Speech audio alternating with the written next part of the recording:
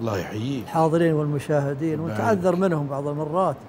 يحصل شوي نطول القصة لكن هذه قصة قصيرة.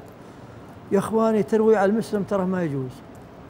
تراه يتعرض لخطريات واجد.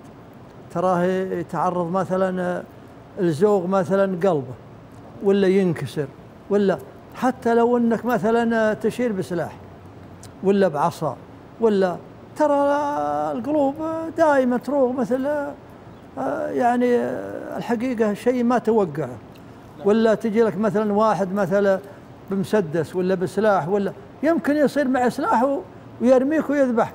هذا أول الشر يا إخواني. ترى بعض الناس ما يوفق. ترى يمسك حية مثلا ويخيط فمها.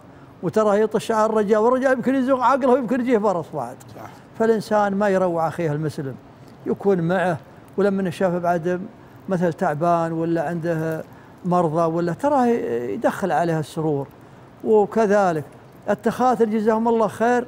ترى بعض الناس الله يهدينا وإياهم لما جاه قال والله أبوك خطير ولا أمك ولا ولدك.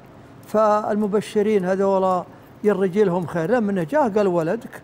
طيب ولا أبوك طيب ولا أمك. كذا يبشر بالخير. فالتبشير هذا تراه من السرور. والنصيحة لأخيك المسلم يقول لا تقابل العنف بالعنف. ترى بعض الناس لما حصل قدامه عنف ولا مثلا شيء يقابله بالعنف ولا يفلحون يمكن يقتل. أذكر لك واحد يقول والله أني جيت مع الطريق. يقول وبفرغ آه، زيت يقول عند رعى آه، الزيت. يقول يوم من هذا يقول لبكت عليه يقول له والله أن آه، شو اسمه هذا رعى الزيت يقول يغلق سيارة قدامي. يقول قلت اطلع أنا مستعجل. عطني جالون. يقول قال هذاك أصلك ما تفهم. يقول رعى السيارة اللي وقف ذا؟ أصلك ما تفهم يقول والله وأروح. يقول لها كالليور. يقول وأخذه يقول وأضربه. والله لا عرف ولا ولف ولا لي طريق يم سبحان الله.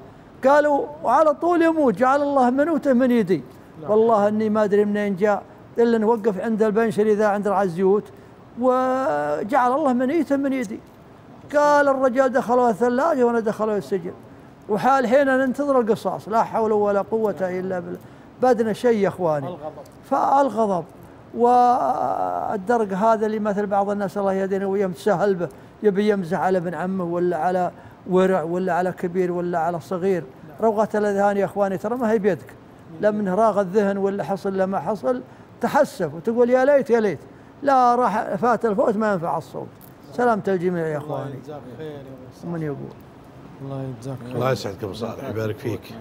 ما ينفع الصوت. فعلا نحرص على هالقضايا حرص جميل. نعم صحيح. آه، أبو عمار جاهز؟